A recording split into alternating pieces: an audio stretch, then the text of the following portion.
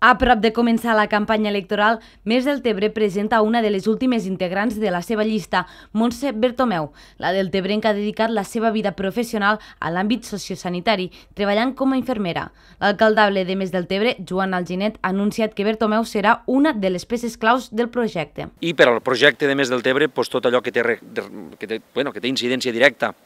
en l'àmbit social, en el sector social, en l'àmbit sociosanitari, pues, jugarà un paper molt important al nostre projecte, al nostre model. Al final, eh, els valors, la seva empenta, la seva, eh, bé, la seva experiència en l'àmbit privat, però ara també la vol traslladar a l'àmbit públic, doncs va ser un dels perfils que, que vam pensar des de Més del Tebre que era eh, molt important i molt, i molt positiu poder-la incorporar al nostre, al nostre projecte. Vaig acceptar perquè Joan va aconseguir encomanar-me aquesta il·lusió que ell té per un projecte de poble clar, que sap on va, un projecte molt positiu i encoratjador per a Deltebre